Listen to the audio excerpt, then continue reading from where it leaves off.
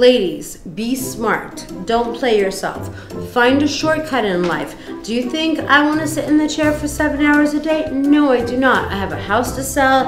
I have people to attend to, including myself. So what I do is I might just hem it up. Tonight, for instance, I won't let a low cut jumper limit me. I will limit it by duct taping myself into it properly. And that way I can do whatever I want, I can shimmy, I can shake, and then I have everyone's approval. Plus I look really good on Watch What Happens Live tonight with these ladies. You know, other than my mother. But you know what? You can't live for your parents.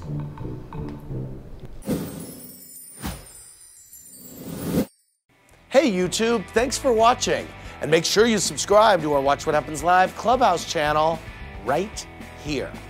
And to watch more videos, click here and here. See ya.